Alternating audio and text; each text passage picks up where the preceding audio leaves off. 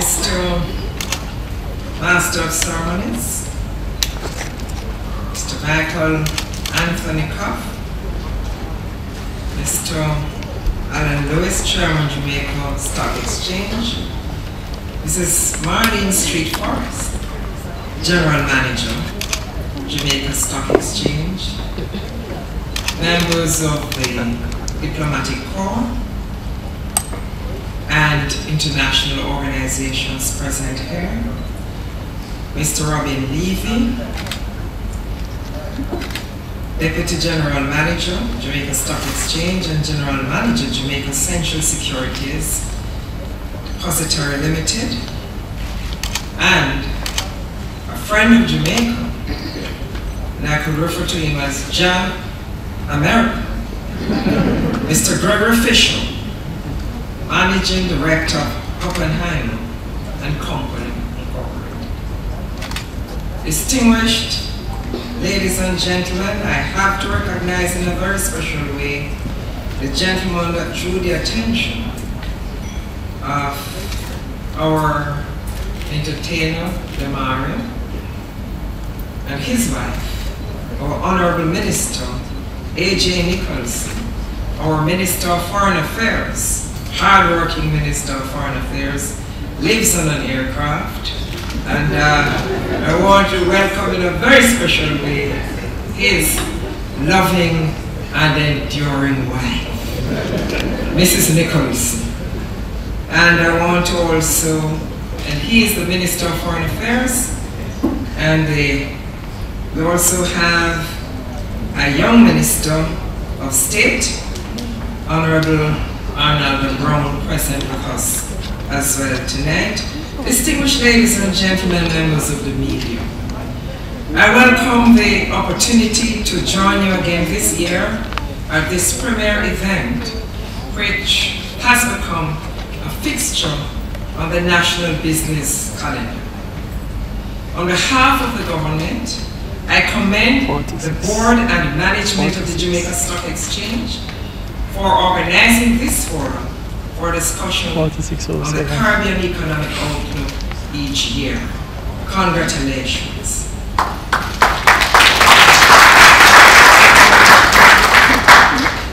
As you contemplate the conference theme of regional transformation through innovation and investments, I hope the discussions over the coming days will give rise to insightful ideas. Such ideas and answers are useful as we continue to strengthen the fundamentals of the Jamaican economy and to position ourselves for sustainable growth and prosperity.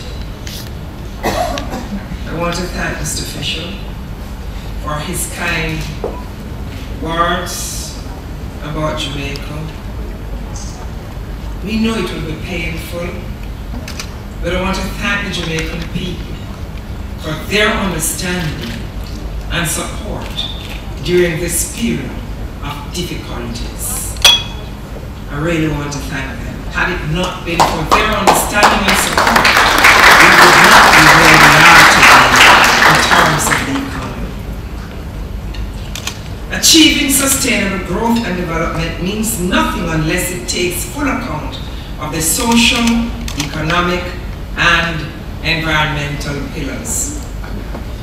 These three pillars, known as the triple bottom line, have been central to the government's efforts to correct historic social inequities. We are building the economic base to improve standards of living and to enhance the resilience of our economy to external shocks and natural hazards. As Mr. Fisher said earlier, it was not easy for us, but we stuck with the program. We followed what we had to do, and I'm sure not long from now, we will get around the corner and we will see the light. Thank you, Jamaica. Thank the Jamaican nation for everything you have done by way of support. This evening I'll focus my comments on the economic pillar in the sustainable development of Jamaica. It is accepted that a vibrant stock exchange and active capital markets are vital to the Jamaican economy. In Jamaica's case, the potential contribution of our stock exchange is yet to be fully exploited. The stock exchange encourages private investors, both small and large, to become more involved in financing the development of all sectors of the economy. My hope, ladies and gentlemen, is that it will become the norm for the financial resources needed by young entrepreneurs to increasingly be mobilized through the stock market. Of course, the ability to leverage the stock market for financing carries certain responsibilities for businesses. They must be willing to subject their operations to the ultimate tests of transparency and accountability. Sometimes there is some reluctance on the part of businesses to subject themselves to this through examination. It, it must be thorough and a true examination, thus depriving themselves of access to the resources they need to finance expansion. For our part, the government commits to developing and implementing the right mix of policies to create the environment for business and commerce to flourish. We remain steadfast. We remain steadfast in our commitment to the economic reform program for the benefit of all Jamaicans. Since assuming office three years ago, the government has embarked on a growth agenda anchored in a sustainable debt reduction plan, which is being advanced through strategic local and foreign investments and innovations in traditional and emerging sectors. My administration will stay the course while relentlessly pursuing new opportunities to unleash growth in targeted sectors of the economy. As we move forward, we are committed to expanding the public-private partnership model as a reliable route to exceeding the growth projections we have set for ourselves. Ladies and gentlemen, members of the media, the growth projections by the Planning Institute of Jamaica provide a glimpse of some of the areas targeted to produce the growth and jobs that we and jobs that we see. For the 2015-2016 fiscal year, real GDP growth of 1.9% is being projected relative to the previous fiscal year. The expectation is that growth will come mainly from the following areas. Mining and quarrying, agriculture, forestry and fishing, and construction. The mining and quarrying industry is expected to benefit from increased production of aluminum and bauxite. Ladies and gentlemen, this is associated with higher global demand and the projected resumption of mining operations at the Alpart Bauxite Aluminum Plant in the first quarter of 2015. The projections tell us that services by hotels and restaurants resulting from increased stopover arrivals and long stay visitors are expected to continue and grow. Meanwhile, transport, storage, and communication services should see growth of some 2%. These are all useful targets. However, we know that this alone is not enough to meet the job creation and income needs of the country. To significantly reduce poverty. And as you know, poverty is a hellish state to be in. This is why the growth strategy seeks to sharpen our focus on enhancing growth as a necessary basis for realizing sustained improvements in the social well-being of our citizens.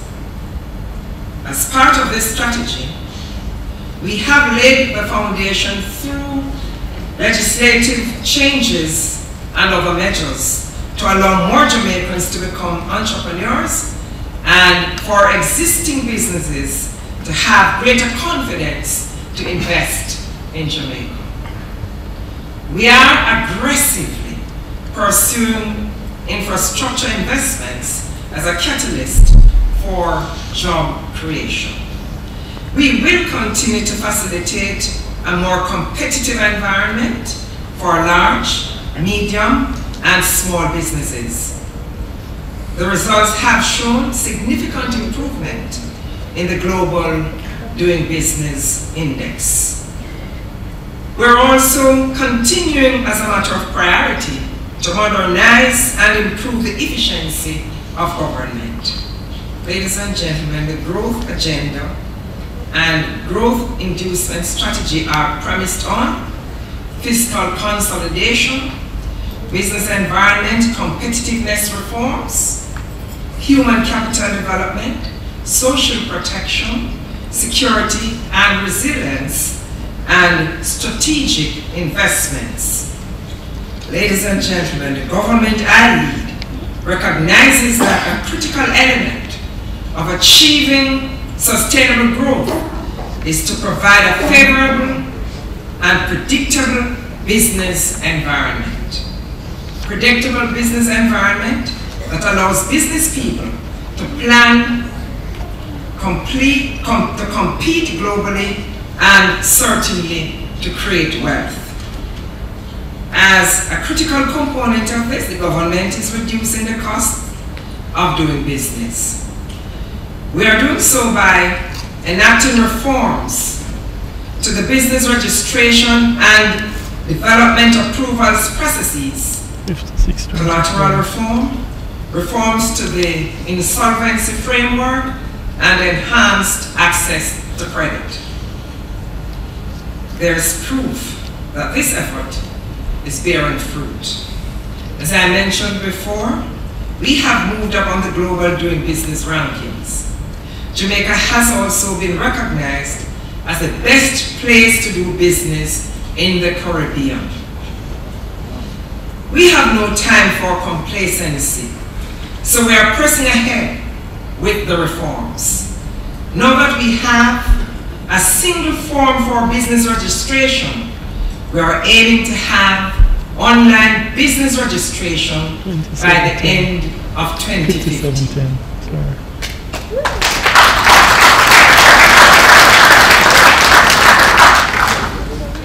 We passed the Security Interest in Personal Property Act and established the Central Collateral Registry. These measures will broaden the set of assets that may be used as collateral for loans and will allow small businesses easier access to financing. The Insolvency Act was recently passed. It was recently passed and will facilitate the rehabilitation of indebted businesses and certainly encourage more people to start businesses.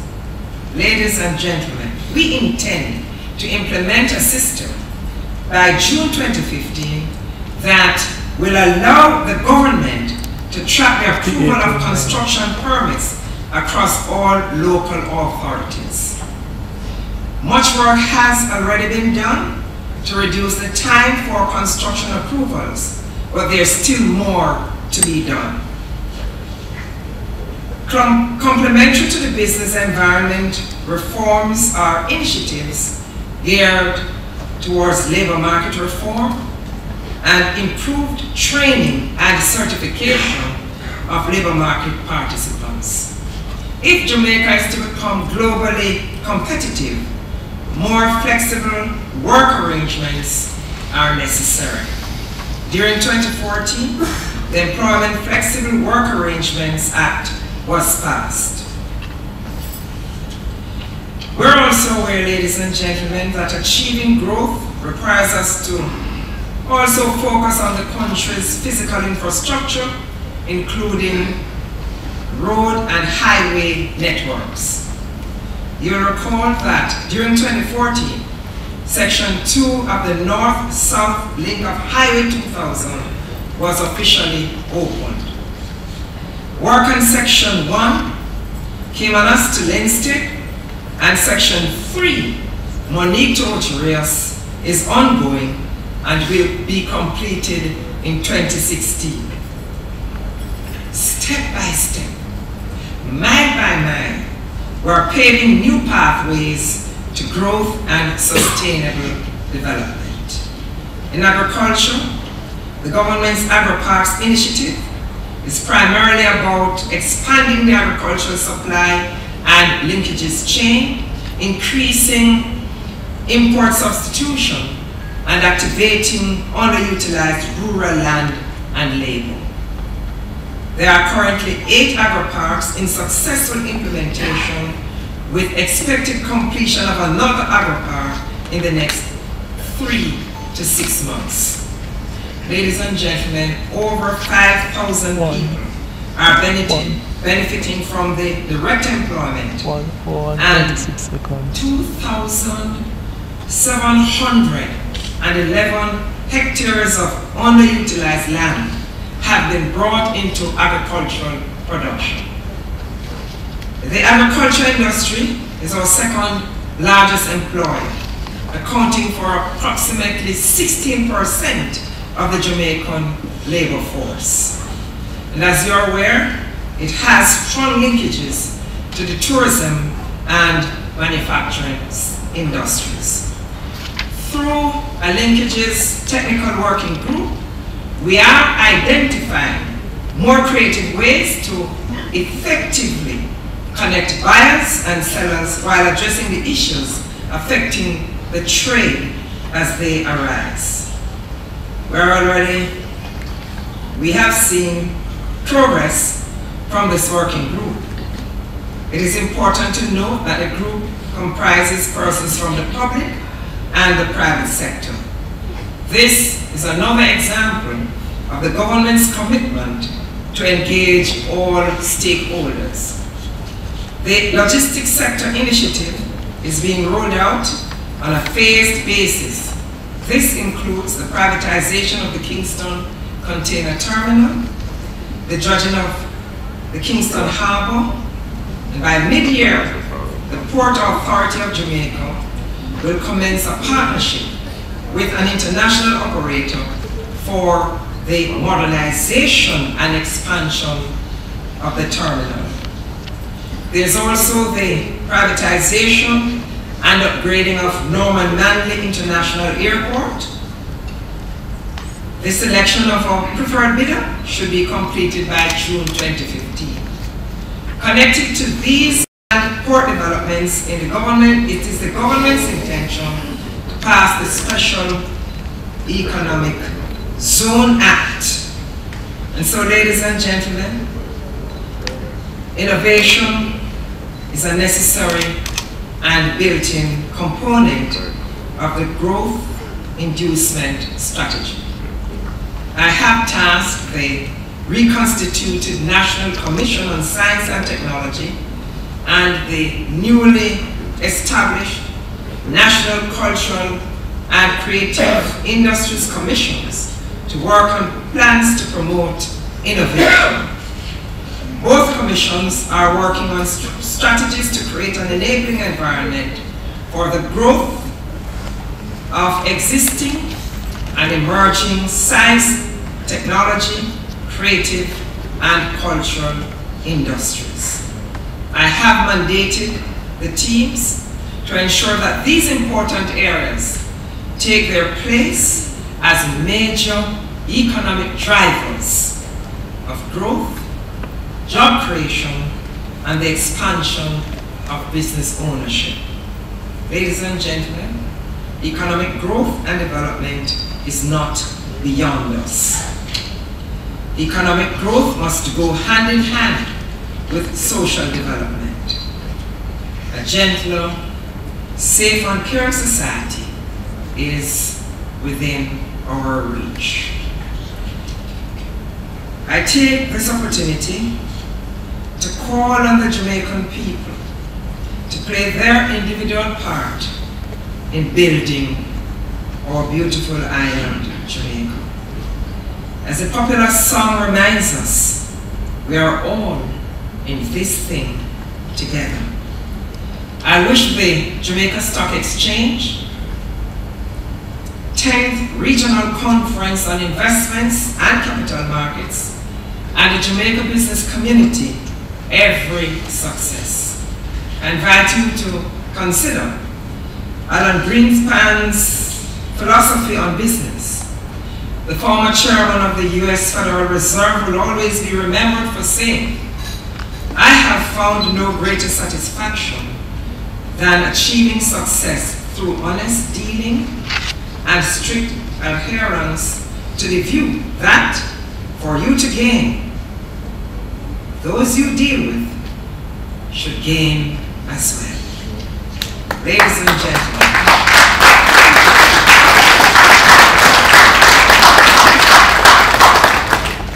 Ladies and gentlemen, as Francis Gray says, yesterday is but a dream, tomorrow is only a vision. But today, well lived, makes every yesterday a dream of happiness and every tomorrow a vision of hope. Look well, therefore, to this day. Thank you, and thank you for allowing me to participate in this very important conference. Thank you, God bless